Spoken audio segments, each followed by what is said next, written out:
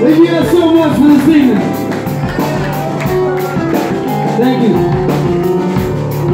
We got one more for you. And we have so much respect for this city. You guys have no idea.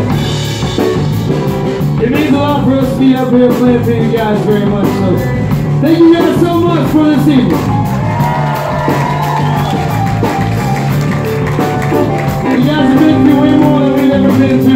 appreciate it.